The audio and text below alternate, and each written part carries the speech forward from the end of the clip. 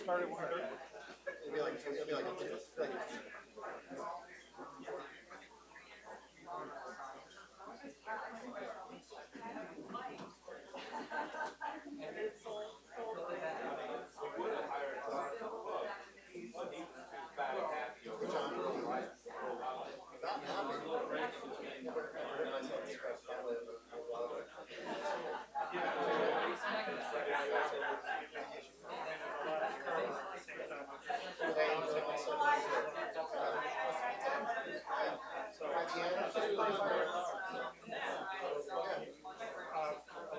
Two hundred and twenty-seven minutes.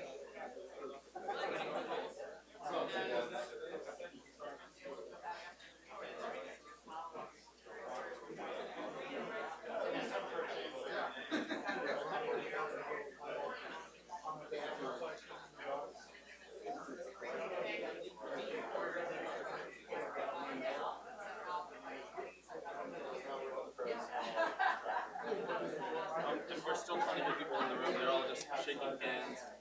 Okay, I'll just start telling this part to start sitting.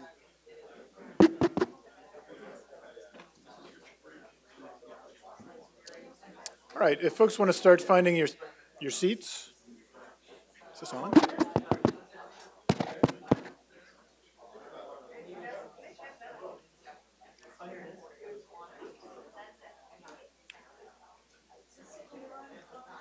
Yeah, if, if uh, folks could start, start finding your seats, um, bring a drink or a plate of cookies or whatever with you.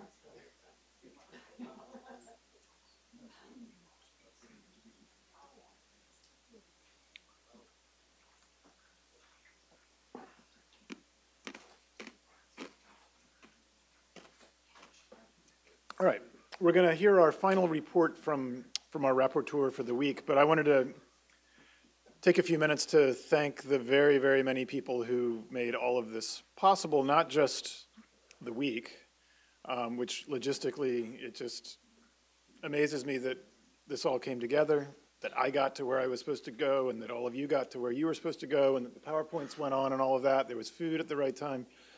That's amazing, but we would have had nothing to talk about for the week if it hadn't been for a huge team that was led by Glenn Anderson, who doesn't seem to be in here, but you've all seen Glenn. Um, so Glenn, in your absence, thank you. Um, my or our team at USAID was uh, me, Jonathan Cook, who has taken over leading this giant amoeba of a project, octopus, whatever it is, um, while I'm at state. Jenny Frankel Reed is back there. We saw her earlier. Um, Andre Mershon is right over there. And then uh, we lost Nora. Well, that sounds terrible. We didn't lose Nora. Um, Nora left USAID and went back to Seattle, and she's now working for Cascadia. Um, and we saw some of their work yesterday from Andrea. Um, Ken Baum, we also lost Ken. Again, not in the dramatic way. Actually, we've physically lost him now. I don't see him. But Ken acted as the, um, the contract officer's representative, the guy who made sure that IRG got paid every month and watched over all that stuff and left me and Jonathan and Jenny and Andre free to, uh, to do the more fun stuff. Fun in, in my view, anyway.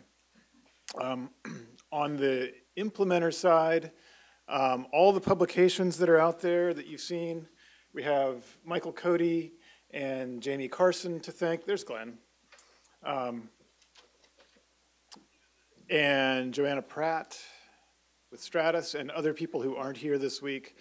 Um, the, the work, both behind the scenes and in front of the scenes, was done by Joanne Potter, Charlotte Mack, um, Angela Wong, Randy Freed, who was a, sort of a senior advisor and, and mentor and sensibility checker at times. Um, John Snyder over here. Um, oh, Deborah Tepley Ferguson, or Deborah, Deborah Tepley. We finally wore her down. Um, Glenn has been the, the chief of party and Peter has been the deputy. I don't think we could figure out the right words to describe Deborah's role, sort of the intellectual leadership or misleadership, whatever came from many cooks, but Deborah made everything actually work. And without her, I think this thing would have spun out of control about three years ago. Um, Glenn was our chief of party. Peter Schultz, whom you heard from two days ago, was the deputy. Um, in addition to doing all this work, uh, oh, there's the IRI team Steve, Kathy, Lisa, and Haresh, and Walter, of course. Um, Skylar, thank you. Um, a lot of the junior people that you've seen running around making sure that this works have been running around for three or four years and making sure all of the work that we've seen worked. And it wouldn't have come together um, without Charlotte in Macedonia and Mukul in uh, Ethiopia and others elsewhere. I didn't mention Mukul. I don't see Mukul. Oh, there he is, Mukul. Um, so thanks to everyone. This was truly a team effort, and it's been a great team.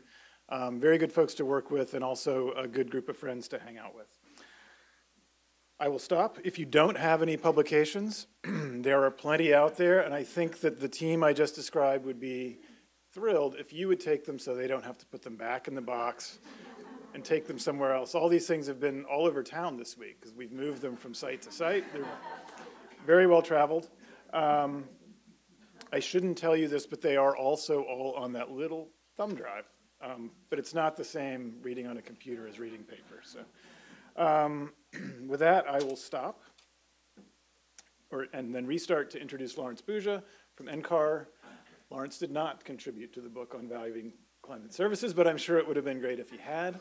Um, Lawrence has been a part of the Climate Services Partnership from the beginning. He's uh, been in and out of our work, sort of an informal uh, external advisor and friend to the project.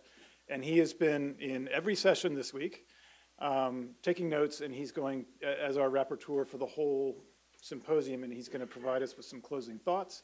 If I stop talking, we'll have enough time at the end for um, audience, uh, sort of an audience rapporteur summary, audience participation thing. We'll see how that works.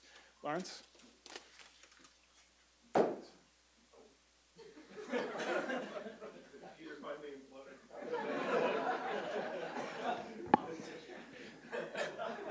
So, so, so thanks, John. Um, yeah, I've done this before at the International Climate uh, Conference for Climate Services, and uh, it's always a, a, rush to go through the whole week. And I'll be focusing on the lessons learned, the outcomes. I may talk about some of the process of the talks as we go along. But one of the things, um, there's been a lot said. And so feel free to jot something down if, if a particular lesson learned stands out for you that you want to talk about later. And the other thing is that if I get your name wrong, it just means that I need to meet you and get to know you better. Um, please don't uh, take offense. So, okay, so we started off on, on Monday morning with this opening plenary on advancing climate resilience development. Rolf Anderson talked about uh, the growing adaptation community around the country that's trying to decode what climate adaptation really means and how this framework is helping to respond to the Obama's directive to integrate climate into the USAID programs. And then he put a pitch, I don't think anyone's heard this yet, for climatelinks.org, okay, uh, USAID's new uh, climate knowledge portal. Then Glenn Anderson really kicked us into speed with the overview of the whole project. Why did it exist? What does it support? What are the, the various objectives? And then uh, tag teamed with Peter Schultz that talked how it supported the national adaptation plans, um, the CRISP program, and how can it be mainstreamed inside and outside of USAID. And then with the questions there of how could it best support mission staff trying to climate proof their projects. And Rolf pitched in that they really saw this as a new approach of start with the design process, look at country strategy level, what are the priority sectors, what are the specific climate investments needed for that sector, and then look at the impact on, on upcoming projects. What is the cost? How can you make better choices uh, through smart design with low incremental costs? And then uh, John jumped in, uh, John Furlow, and says missions don't want another guidebook. They've got piles of these. They want visits, they want trainings on how to actually do things. And then John presented on the, uh, the history of the framework, starting with the 2007, 2008 uh, meetings and action plans, the 2012 Jamaican meeting. Um, And the outcome of that was the recognition you can't look at uh, climate adaptation in isolation. There's always going to be other stressors, there's always going to be other crises that undermine development, and you need to integrate your solutions. Siloed climate adaptation planning often um, sets up different approaches and different solutions in the same area, trying to do the same thing on top of each other. You really need to coordinate. Um, and one of the questions that came out of that session was now that the framework's been applied in several countries, what needs to be changed? This was a nice question.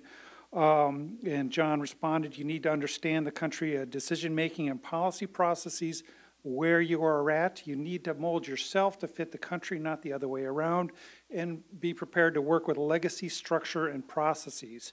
Uh, he also noted that there are a lot of different funders in the area, GIZ, DFID, uh, the various banks, um, and that these provide tools for the country to organize and own the whole process and coordinate the international actors. Uh, we had a unforgettable lunch keynote. Thank you, Pablo, uh, Pablo Suarez from the Red Cross Red Crescent. Uh, a lot of highly interactive uh, action at lunch. And then we went into lessons learned in the afternoon session, uh, lessons learned from the framework.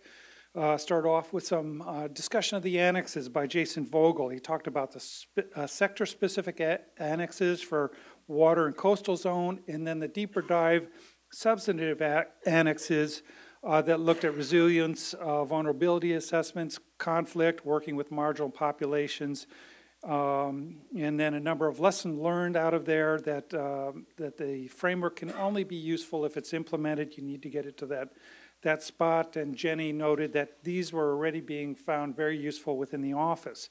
Uh, Mary Ackley from USAID talked about climate change and conflict, and this is a new area to me, so it was pretty interesting to hear on this intersection of conflict and, and climate change and their key findings that most of the fragile countries are most vulnerable to climate impacts, but most of the climate vulnerability countries are not fragile. Um, and that the overlap between climate change and conflict shows the importance of addressing this through a resilience lens. Uh, then Ed Carr uh, gave us a nice presentation on marginal populations and applying the framework there, defining what it is, who cares, and uh, then, then talked about how it's hard to apply these for the marginal populations as you go through the scope, assessment, design, implement, evaluate, and adjust areas. Um, he noted that identifying, incorporating, addressing the needs of these marginal populations into the development issues is very challenging, um, and that thi- this provides some meth- methodological guidance for that, and that identification of and attention to these marginal populations is critical to achievements of these uh, climate resilient development goals. And he ended with, ignore this at your own peril. Um, uh, Charlotte Mack, uh, Joel Smith talked about incorporating the framework into the national adaptation plans, talking about the difference between NAPAs, which are uh, look at individual urgent and immediate goals, and the NAPs, uh, which are meant to look at mid to long term strategic goals. And their lessons learned out of that is that ownership and buy in at early stage of the NAP process is critical, and that you need to ground these NAPs, the national adaptation plans, in existing uh, planning uh, vehicles. Also, uh, general and regional for these is better than local and specific, and that the uh, NAPAs can serve, or maybe the NAPs, that might be a typo, can serve to coordinate the development funders and funders in the country. Alton Byers gave us our first look at some of the local adaptation planning that they did in Nepal and Peru, where they use science and community-driven uh, approaches to climate change adaptation to put together their LAPAs, the local uh, adaptation plan of actions, and the different experiences between Nepal and Peru. Um, but the, the- coming out of that, the lessons learned, you really need to build formal relations with the government before starting on these LAPA process. Um, and that integration of the science into the LAPAs worked well and increased their credibility. There's some good questions out of this session. But they talked about the, that there's currently a significant disconnect between international finance and private institutions. And there was an example out of the Caribbean where uh, business does not work with free money, that decision-making there is cutthroat, and they're really having to make hard choices between, do I build a school, or do I invest in long-term climate resilience uh, planning? And that we need to get used to this and be able to make the economic case for making uh, long-term climate investments, show it's profitable in the long term with a non-zero discount rate. Thank you, Glenn. And that we need to flip the question about uh, from funding climate resilience to only funding climate resilient projects. And then Joanne Potter took us through our first look at the uh, Climate Resilience Infrastructure Services Program. Um, talked about the impact of, of infrastructure, how it's expanding rapidly, it's expensive, it's long-lasting. The decision you make now will have very, very long impact, very long, long yeah, impacts. She went through the CRIS goals, talked about the pilot cities, and then gave some of the lessons learned out of this. One, that the development first approach um, focuses the scoping and assessment uh, parts. Decision relevant climate information is critical to this. Uh, that these innovative, accessible tools will support local government action, and that this technical collaboration expands municipal capacity. Um, Jason Vogel then took us through a really nice example of water security in Iwagen, in the Philippines. Ilo, sorry. Um, and walked through the kind of the surprising experience they had there as they went through the assessment process um, and identifying the and analyzing the set of options that were available to these. And the outcome of this uh, was that implementing the framework is not a linear process, in that they found many of the adaptation uh, measures were in non-climate aspects of the situation, such as governance, and really you need to be able to integrate uh, solutions on both sides. Glenn Anderson talked to us about the Kazakhstan Climate Resilient Wheat Project, um, how it supports the climate resilient climate uh, vulnerability assessment for the wheat sector in agriculture uh, via this, this stakeholder engagement process, and some nice lessons learned out of that that there's different approaches that need to be tailored for the family farms versus the commercial farms, and that there was different responses to climate information in terms of being able to first understand the information and second their capacity to act upon that information. And then he also talked about uh, the comparative analysis of stressors and solutions, that a lot of the metrics needed for the evaluation uh, weren't available, and um, you need to assess your adaptation options versus your development options. Um, and at the governmental level, the assets may not be liquid between these two, but that's less of an issue at the farm level. Michael Coate uh, from Engility took us through the small grants uh, program, going over the, the rationale behind this. They had about 3.3 million over 36 small grants, 11 climate scientists. And there was a real challenge here uh, as they got the first set of uh, applications to this that the quality was low. So they held write shops to really train the participants in grant writing.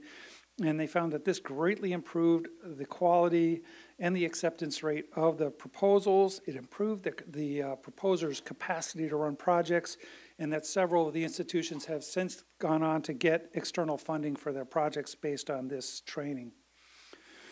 Um, then Jonathan Cook gave an amazing wrap up to that whole uh, whole session, where uh, he outlined how the CRDF is the connective tissue for much of the USAID work, and went through a number, I think, about five different elements in terms of mainstreaming, talking about the flexibility of the framework, the importance of the country level process to find an entry level uh, for the process, how it's good to align with existing planning and financing structures, and getting good donor coordination and partnership can multiply the outcome. He talked about uh, the role in providing information for decision making, uh, bringing weather climate information into decision making, building capacity to assess and apply the information, and then the growing importance of climate services for development.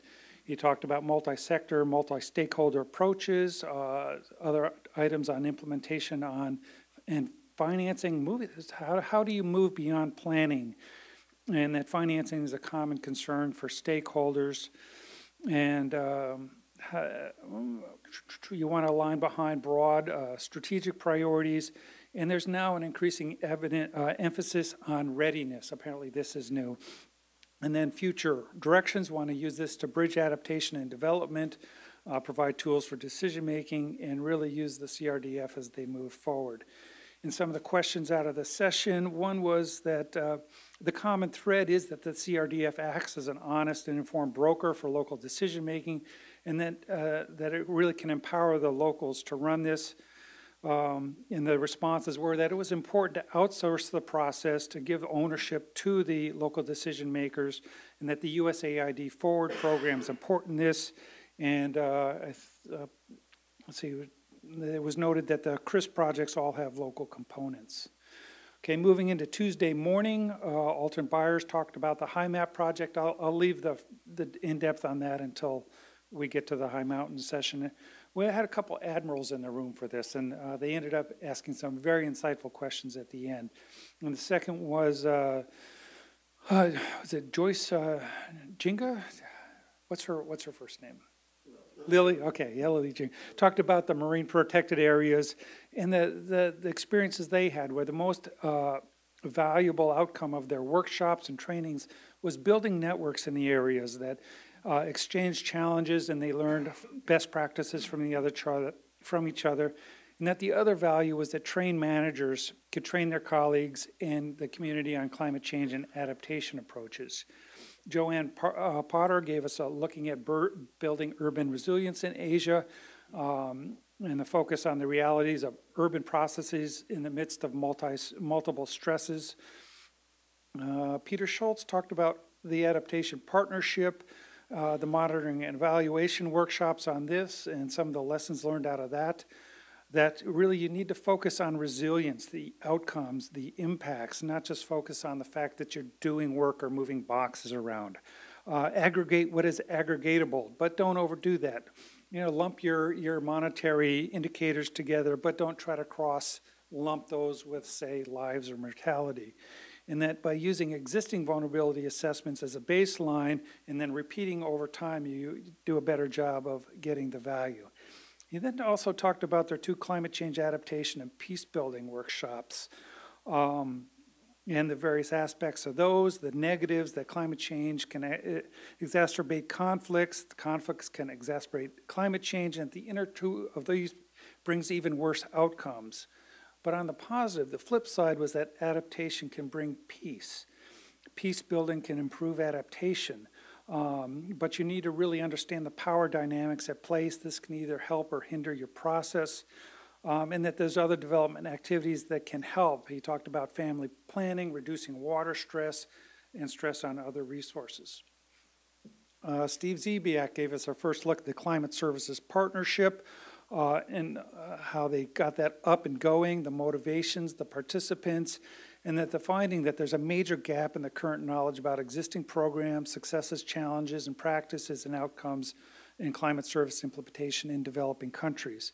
He went over the results and the priority actions, and then then uh, discussed some of the lessons learned out of the building, the community uh, climate science partnership community of practice, uh, in terms of the ICCS and CSP working groups, the knowledge platform, and the lessons that partnership increases learning and leveraging. And then Alex Guerra Noriega talked about the experiences in Guatemala and assessing vulnerability, increasing climate change resilience in the agricultural sector. Lessons learned out of there is that adaptation knowledge shared uh, is shared within and between the communities and countries demonstration pilots are key, and so we start to first get into this discussion of the value of pilots, and that you really need to keep a focus on local hazards. In the questions section, uh, there are a number of great questions, but let me just hit on one where somebody asks what would you advise if USAID chooses to build off the CCRD moving forward? And uh, it might have been Peter Schultz who gave a fairly long answer to this, that first, participants need to be engaged, have skin in the game, need to have a diversity of participants and avoid the echo chamber. need to go where the people are. You need to be in situ. You learn things in the field that you just don't learn in the office. Uh, you need to focus on producing outputs that are common use to all the participants. Funding streams need to be identified at the very beginning. The funders need to be there from the very beginning. There needs to be champions whose day jobs are to carry this forward. Um, in climate services, a lot of initiatives. Uh, GFCS has momentum, national level programs. There's sector initiatives like CCAPS. and that the CCRD is effective in working with different units of analysis from cities uh, to the mountains to the rural areas. And, and then finally, it was very hard to get other donors to share cost and ownership. Uh, moving into the afternoon, we had a nice session at the uh, Cosmos Club, a really interesting place, uh, talking about lessons learned from the High Mountains Adaptation Partnership. Alton Byers gave a really nice presentation of their Nepal Peru exchange and collaboration, the different experiences, and the actually very beneficial exchanges that went on between the two. Jonathan Cook talked about the uh, lessons learned from the LAPA process, the local adaptation plans of actions, um, that they are documents and plans, but they're also the process important. Uh, and the importance of local adaptation planning, working with recognized practices, uh, the development first approach, and then went over some of the future directions. Uh, we had a nice science presentation from Uliana. I'm not even going to try her last name. Hordos, Horodsky? Excellent, from CU Boulder, excellent hometown, uh, talking about their super, super glacier lake evolution on the, uh, the glaciers in Nepal and went into the real details on how they're surveying this, surveying the sites, and it sounded like it was not just interesting, but sometimes dangerous work getting out onto these ice cold freezing lakes with small boats. And so um, had a lot of challenges, but a lot of nice information that fed into the process. Uh, we had a video on Cesar's work in Peru. There was a previous video that was just beautiful. Uh, I don't remember who produced that. Um, yeah, talking about the, the, the, program there in Nepal and Peru, very insightful. And Cesar, Cesar Portocarrero talked about risk reduction uh, in the dangerous glacial lakes as an adaptation process in Peru going through kind of the triggers there, the situation in Peru, in Peru, the risk reduction methodologies to bring down the volumes of the lake, um, various strategies and mitigation options for that. And the lesson learns that they have to work with climate change, have to work both on risk reductions and integrated uh, water resources management together. Gregory Leonard from uh, University of Arizona talked about the investigation of the Seti River disaster uh, in terms of the field investigation, the outcomes, and the lesson learned that these the gorges still require monitoring. Um, that sometimes you do need to relocate people from the, the low terraces, and that the improved flood early warning systems are needed. Number of questions in that. Um, but really, what came out of there was the success of this group in calling attention to these glacial lake outburst floods impacts um, and their their uh, interplay with the agriculture, water, and hydropower sectors in making that a regional initiative. Wednesday was Urban Day, uh, so we started out with uh, Charles Caldwell moderating the, uh, uh the session. And he said it's not just about climate. There's a number of things out of control for urban, lead, uh, urban leaders. First, accelerating climate stress, but also accelerating stress on services from uncontrolled migration and demographic changes. And so that framed the session. And Joanne Potter talks some more about the CRIS framework, uh, how developing cities face multiple challenges, that reliable infrastructure services are critical to urban development, and then went through some of the pilot city uh, experiences, the approaches, and how they integrated climate into the core processes and talked about an experience in Mozambique. So Maria, Sofia, Dorin, Borowski, did I get that right? close, sort of, um, talked about her experience uh, uh, living in, in Piura, Peru, uh, which is a near coastal, near equator, uh, northern Peru city, about 400,000, that is growing fast, and the infrastructure wasn't prepared for the climate uh, precipitation variability that they were experiencing. Normally, they'd have 800 millimeters of rain per year, but in some cases, they would get 2,000 millimeters in four months.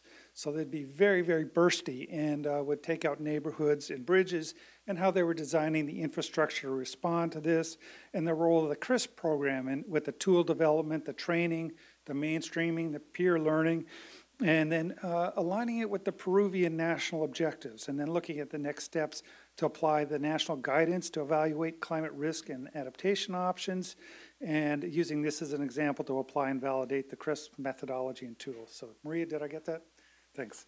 Um, Monica Bonsai uh, gave a nice, ni- another example of the CRIS success in the Dominican Republic. This was, this was very compelling for me. Talked about the decentralized nature of the DR, uh, many provinces, uh, revenue distribution efficiencies, uh, 11 different urban transport authorities, almost a, what almost felt like a hopeless situation. High corruption, high socioeconomic disparity, um, and how they decide to focus down on the, the main urban corridor on Santo Domingo to Santiago, and uh, brought up this the idea of the small pilot projects. Are they are they good or not? And uh, they're often seen as a waste, but if you tie them to larger projects, they actually can be catalytic. And that building the relationships, even if it's just in pilots, is critical and lays the ground for the larger efforts. And so that was the start of that discussion.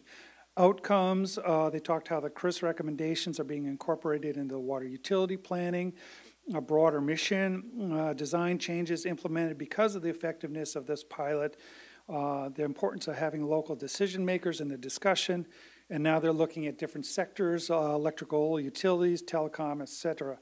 And the utility, based on their interaction through the CRIS framework, is now in a position to actually seek uh, additional funding for implementation. Sierra uh, Bainbridge from the Mass Design Group talked about building resilience. And again, really uh, about the importance of engaging community in both design and construction. Uh, how the Western models are really not appropriate. There's a brain drain in these countries. She was talking about Rwanda. You end up with large wards of underserved people. And from a design aspect, a focus on using local materials and labor so that you don't have to import these from far away after a disaster. The the uh, local construction people know how to work with the materials, but also on design, focusing on a beautiful location, a beautiful design that's well cared for. And this encourages the patients to come in before it's too late rather than try to avoid uh, the hospitals there. And talked a number of lef- lessons learned in that, but this, those were really my takeaways. Uh, the, the number of questions, but somebody asked, is the science driving the selection of these case studies? Uh, yes, these seem to be intermittent weather, but how were these really uh, selected? And they went through the, the criteria selection, looking for mid-sized, rapidly growing cities with low capacity to respond. There had to be some USAID mission interest in the area. The city had to have the interest and capacity to be a pilot, but really tried to avoid setting up separate institutions and focused on uh, tools to integrate climate into the uh, existing structures. And so we're seeing that theme come up again and again. Uh, more on Urban Day, Joanne Potter uh, talked about the CRIS program. Again, I've talked about that before. I think I'll jump over that. Andrea Martin from Cascadia talked about deploying the climate impacts decision support tools in Vietnam. Their uh, SIMPAC DST, uh, Excel-based tool, says it takes about 15 minutes to go through. We should actually see that. Uh, but this was a really nice presentation. Well, talked about the process of starting with a pilot pilot city of Hue and then scaling up to the national level where it's now working at 60 provinces. Cascadia is handing off to the uh, VIUP. Uh, what's that acronym? Yeah, okay. Um, it's engaged several provinces, uh, understood the wider needs, and based on their feedback, uh, updated to the tool, held national workshops, and now getting into a larger national conversation on community resilience.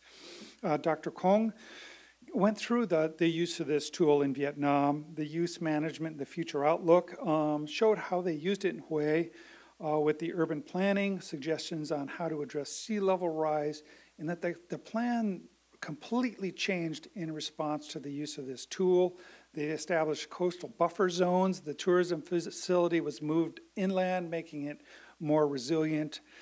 Um, lessons learned out of that, looking to the future, there's a need for continued integration of available provincial uh, climate adaptation plans and local data. But uh, Dr. Kwong also talked about the constraints, time and resource constraints, that the national administrators have limited time and resources to identify in- and input new information. So maybe this is something that needs to be thought about as you're looking at the M and O of these systems. There's also limitations in terms of expertise and capacity, uh, identification and synthesis of the climate information that can be challenging for urban uh, planners who really need to update the tool. Uh, Amar, Amar Malik from the Urban Institute talked about um, the Urban Service Delivery Assessment Framework. Again, I found this talk very compelling as well, while they were all compelling, but uh, really went into why do you measure urban service delivery and the challenges as, as rainfall patterns change, the service systems are being stressed or even becoming inoperable, uh, causing a great deal of distress within the cities. Uh, access to services directly impacts the human condition, fosters productivity and economic growth, um, that if you can systematically review structures of urban service delivery systems, you can evaluate outcomes, ID, uh, identify gaps, and improve performance. And so they went through a number of, of ways that they were doing that. Uh, I thought that was found it very interesting. Again, the questions were, were quite uh, quite interesting for that session. And and um, Vietnam, uh, some of the questions were uh, as the plans evolve to the tool, how did this occur and how did the people of Vietnam learn from the tool? And uh, some of the discussion revolved around the fact that urban planners are very use uh, visual, that bullet lists of recommendation aren't nearly as compelling as spatial information, and that the national version of the tool uh, integrated and linked to graphics much more than the, the first round of that did. Um, and did the tools take into account how other sectors would react to climate change? Um, and Dr. Juan noted uh, very wisely that urban planners typically don't think of one sector. So they're ideal partners for this. They're looking across many different sectors. And it was also noted that the private investment dwarfs the public investment. The private uh, sector needs to understand that it's in their interest to be climate resilient. And so this is the second or third time that topic's come up uh, Wednesday afternoon. Uh, we had the uh, wonderful Macedonian uh, presentation, Alexander, Vladimir, Igor. Uh, we had magic, we had jokes, we had, it, was, it was great uh, talking about mainstreaming climate change into the green agenda process in, in Macedonia. Uh, went through the vision of strengthening environmental movement in Macedonia, the goals to increase capacity to adapt to climate change, but also to use climate change as a platform to improve the local democratic process. Uh, some talk on the green agenda, and then some critical success uh, factors that there has to be clear ownership, local ownership of the results, that your tangible results plus trust plus cooperation plus involvement plus commitment plus proactivity plus leadership and you have uh, great outcomes but it may be difficult to get all of that. They seem to be capable of though. Again pilot projects came up and uh, they viewed those as very important uh, and they had some nice play on words. Many strategies uh, are out there, but they need to become strategies, otherwise it becomes a tragedy. So um, um, also that it's important to learn from failures. So uh, well done. Uh, some questions, um, does your approach to build resilience apply to other shocks beyond that? And it was sound that that with the small capacity, the capacity in the smaller communities limited, this really helps to multiply this. Um, what's the interaction with the disaster management community? Well, it sounds like it needs to be improved, and that uh, stake, stakeholder mapping is critical to success. And then later that afternoon, we had the demonstration of the new USAID tool for assisting, assessing institutional capacity to address climate change. Uh, that was an interesting experience and kind of made me want to go back and look at our strategic plan. All right, so uh, we come to today. Uh, Jim Buizer's already talked about this, but I'll go through kind of my take on this and, and list the list the takeaways I had. That we started off with Walter Baethgen's keynote, uh, the definition of the production, translation, transfer, and use for decision making uh, of climate services. He had his beautiful CAT scan example going from research to the processing to the applied research, private sector, operator, doctor to patient and really have to have the right point of engagement to be effective. Uh, what does this mean in the real world? And the need to adapt a new paradigm of, of you know, going from the Noah's Ark example of having perfect information to the, uh, the nuclear ginkgo biloba in Hiroshima on how highly resilient systems can uh, survive large shocks and the conclusion that the production phase requires research, that translation, transfer, and the use requires consideration of the, the information networks, the spaghetti diagram, and we really need a new approach on climate adaptation. Steve Zebiak gave us a, a run through again on the Climate Service Partnership, uh, the accomplishments, the investments, and then looking ahead on how we continue the work linked to the global framework and other international programs. That was a really nice program you built there, Steve. Uh, Glenroy Brown talked about uh, climate smart products for agriculture in Jamaica. Uh, Jamaica, the most beautiful Caribbean island country, I believe I remember. Um, went through a number of the, the examples. The, the early warning systems on droughts were needed, uh, specific real time farm level weather forecasts, and how they address those needs and the successes that you can build awareness of available weather products, conduct assessments of the usefulness of the, the, their monthly farmers bulletin further develop drought and precipitation monitoring forecast tools, and that the Jamaican Met Service, I'm, I'm looking, there he is, uh, will continue to champion and advance this work, so we're counting on you. Uh, Lisa Goddard gave a, a really nice detailed presentation of the IRAP, Integrated Climate Information Decision Processes for Regional Climate Resilience. Uh, sounds like a very, very nice project. Um, where the strength here uh, she found is really at the intersection of all the partners. They really went through the five pillars of identi- identifying vulnerabilities, opportunities with the stakeholders understand, quantify, reduce uncertainties, ID interventions or technologies to reduce vulnerability, uh, identify policies and institutional arrangements that reduce vulnerability or transfer the risks. That's an important one. And then uh, the fifth one of design evaluation to the very outset for targeted interventions and engagements. And so that's another topic that we've seen coming up again and again. The evaluation needs to be built in from the very beginning. And then Jen, Jenny Frankel Reed uh, ran us through SERVIR, a project that, that I'm really fond of, um, and how it works with the regional institutions to get information in the hands of decision makers to improve climate resilient, low emissions development outcomes. Uh, talked about who was involved, the SERVIR results framework, and the results of all of their tailored decision support tools, all, many university fellows, small grants, 2 million map requests, a lot of stuff coming out of this. Uh, and then highlighted two projects, flood forecasting in Bangladesh, on how they were apply, able to apply the NASA satellite assets to fill a huge information gap where the Bangladesh were not getting the upstream water information, but being subjected to floods and how they um, were able to expand or, or increase the warning time from two, two days to eight days. Um, and the deaths out of these were, were uh, decreased by two order magnitudes from the thousands down to the tens. Um, and then another one on for, frost forecasting. And so there were a number of nice lessons learned out of this. Um, but the, the bottom line that the field is wide open for expanded tech, technology co- uh, cooperations with SERVIR. There's still much to learn. Um, the uh, questions uh, out of this, uh, what are the lessons learned that you have with unsuccessful tools? And again, we're starting to see this one come up of what, what are you learning from failure or even looking for it? And uh, Lisa noted it's important to evaluate what didn't work and the options for doing it right. At what point do you just put down the tool and move on, or what, at what point do you adapt it? And that the pilots help avoid this. Uh, in the second session in the morning, Ed Carr walked through the uh, evaluation of climate services and talked how traditionally climate services focused on climate information, uh, governed by assumptions that it's actually useful and of utility to, to the users. There's a little focus on communication or understanding the users and how that needs to change.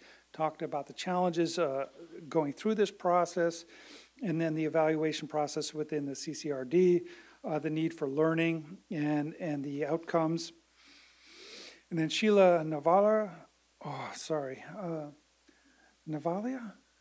So, uh, Onzere, sorry, also from University of South Carolina, talked about uh, implementing this evaluation and assessing Mali's Hydromet Advisory Program, went through the background, the assessment, and then a number of lessons learned that it's critical to build evaluation in from the very beginning. We've heard that before in order to accurately assess outcomes and value. Uh, you might be providing great value, but unless you've done the evaluation right, you may not be able to demonstrate that.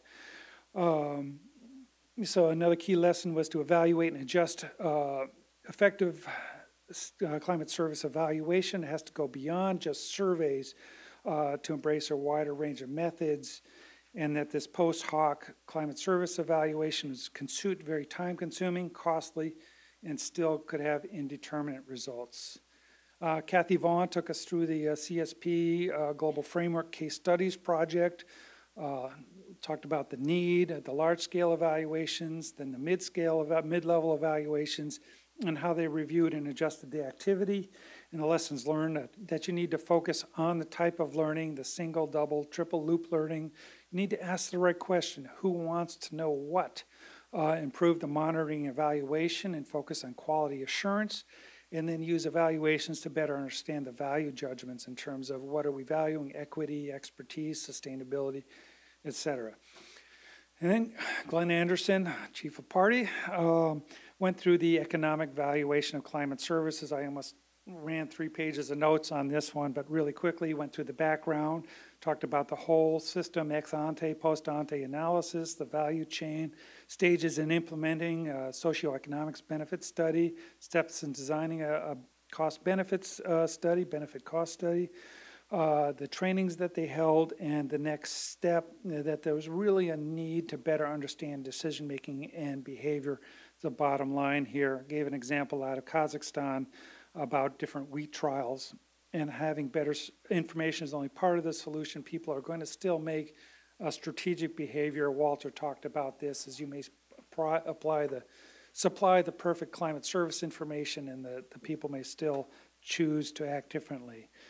Um, kind of the question that stood out for me is that it's hard to assess climate service effectiveness. You need a situation where something happens that you forecast that was acted upon where there's an outcome and a number of nice responses of, you know, what are we evaluating here? The climate service itself or the use of that climate services? And uh, Kathy noted we need to creatively look at both. Uh, One of the lessons learned that success often depends on having the right person at the right place at the right time. And, and that is so critical, the, the proper personalities, but also the need to get beyond that and institutions where you'll have success whether or not you just happen to have the right people on both sides of the exchange. And we talked about a success with the World Food Program, NDVI, forage information with a tangible $6 million benefit. Um, the bottom line is that better and more effective information allows better planning and decision making. And then finally, uh, Jim Buizer walked us through a number of, of illuminating uh, examples of, of um, resource uh, restrictions and uh, how coincident patterns can lead to disasters. So I'll leave, I'll leave it with that. And I guess we have some, hopefully some time for discussion at this point.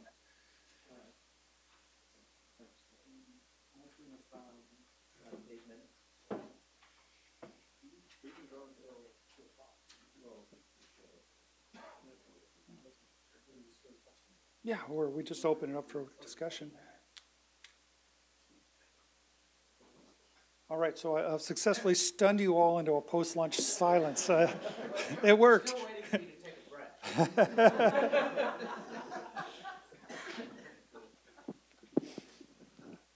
the note get all of that? I'll give you my notes. So no, I mean, but uh, standing on the shoulders of giants here, this was a series of very, very, uh, actually inspiring presentations through this whole section. And I look forward to the discussion on how we move forward from here, so. So maybe I'll ask a question. Do you need a mic? I mean, do, you- maybe I'll just a- ask to, um, okay. I'm not sure if I should direct the question to you, Lawrence, or to Glenn, or maybe you can kind of hand off the question to each other. Um, but just zooming way out as you did, do you feel as though the CRD framework was cohesive across all of these program areas? Yeah, well, um, I, I got the sense that it was developed and applied, but we'd see a more cohesive application if it went through another round. So, um, this is, this, this, it's a five-year project, but it is a new five-year project. I think that it takes time to actually figure out the, the, the strong points, the weak points, and where you need to adjust. Uh, Ed? Um, Along those lines, I, I would actually say that part of the trick was that the CRD framework actually came into sort of existence in final form about midway through CCRD. So an awful lot of the work that a lot of people in this room were doing was already running before that happened. And I think that actually, it probably speaks to the strength of the framework that when Sheila and I were putting together presentations, we found it actually fairly easy to take lessons from what we'd been doing and actually talk about how it informed parts of the framework. So I actually think it speaks to the fact that it does, at least for the stuff we were working on, it does work pretty well.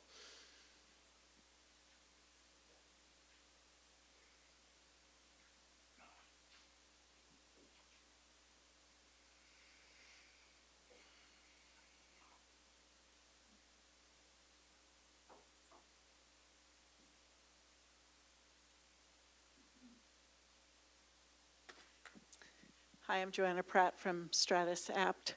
Um, This is an unfair question because it relates to what I'm going to be doing next on this project. But I wondered if you had, I think you mentioned two or three or four big picture takeaways from everything you heard this week. But I wondered if you could maybe briefly uh, state what you think kind of the cohesive findings or results or next steps, big picture conclusions would be.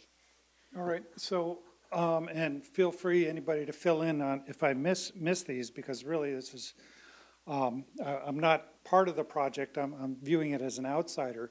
Um, I think one, this is a big step forward in providing a systematic framework for, um, implementing a lot of these type of projects, in that it's useful at a number of different levels within USAID, for other researchers trying to implement uh, exactly what this was designed, and then for the countries themselves. And so that was something I was really impressed with, how this seemed applicable across different scales of application and decision-making. Uh, Is clear, I'm not sure this is a unique outcome to this, but it seemed to be a consistent theme along here, is that there are values to pilot projects in terms of making sure you're not going down uh, too far down a wrong road or actually being able to quickly get some early wins and demonstrate success, build the communication links among potential partners from which larger projects uh, could evolve. I think one of the big themes I saw that coming out of this was that you need to have the local engagement. You're almost wasting your time if you try to do this from your desk in Washington, D.C. You need to be in the field. You actually have to have the motivation coming out of the actual decision makers, the smallholder farmers, the utilities. Um, Glenn, you got more on that? Um, I, I just wanted to uh, sort of answer Mike's question a little bit, and maybe John or Jonathan. Several years ago, uh, Heather McGray uh, talked about adaptation as a continuous process of learning, and that one of the real benefits is the learning that you do over time. And, and this is an incremental capacity building, understanding the information, learning how to use it. Um, but it also is, is when, if you go through and you think about monitoring, evaluation, and adaptive management, it's what do you learn from all of those things? And I think, I think the, the way we've approached the adaptation planning and the climate resilient development has always been a process of learning. We started, as John mentioned, focusing on projects um, because that was where we thought some of the demand was at that point. But ultimately, as John mentioned, he got really started thinking about development first uh, in Madagascar, and then when we went to St. Lucia and Barbados as well. I think there's a lot still to be learned. Um, I think that we've kept the framework very general and flexible because there's no two planning processes are ever going to be the same in terms of data, capacity, timeframes, resources, or the kinds of questions that have to be answered. Sometimes you're just going to be trying to do an education program, an awareness program. And I think that going forward, there's still a lot to be learned, and I, you know, I hope that this work will continue. Um, but it really is evolutionary. It really is a process of continuing to learn, assess what you learn, and move on and, and try to adapt.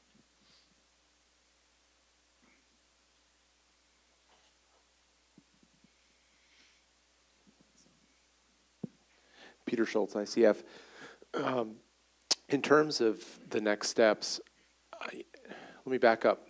Where I think this project uh, made the biggest difference was on the, the scope stage. And I think really emphasizing that to work within a development agency, you have to have this development first approach. And that starts with the scoping. Um, the community as a whole uh, has previously has done so much work on the assess stage. Um, and so I, we did make some contributions there, but I, I really think it's on, on the first step, and then also on the third step, on the design, and really thinking intelligently about how to pull together what you've learned in the first two steps to develop uh, approaches that can address the risks that climate variability and change present.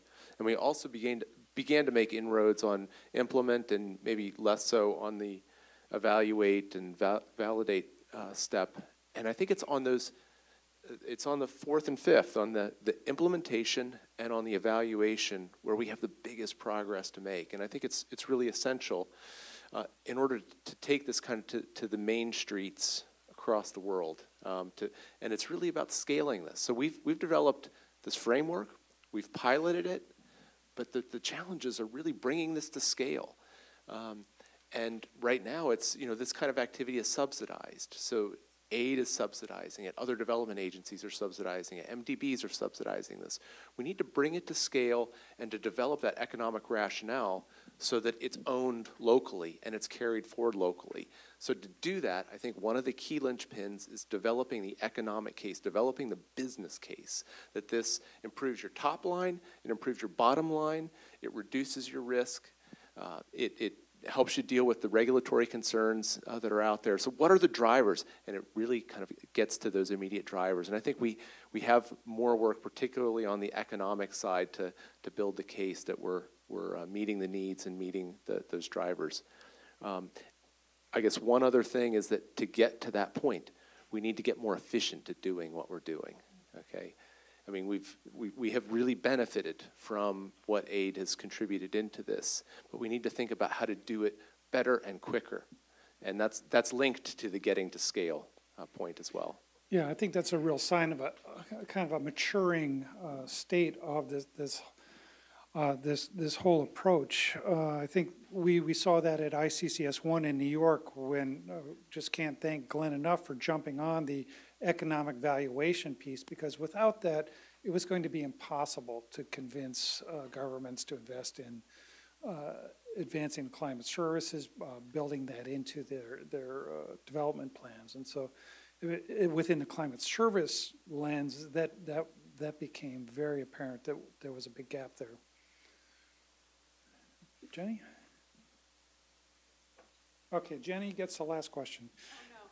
Oh Uh, Jenny Frankel, Reed USAID. I just similar to what Peter was saying. My observation has been that initially in climate adaptation, we tried to differentiate. We tried to say this is different. We need to dedicate specific attention to this, and it's different in these ways. And we separated it out from what everybody was doing, kind of the business as usual. But we've learned from that, and I think now we're saying this is a part of what you're doing, and we've come away from differentiating um, back to integrating or connecting that.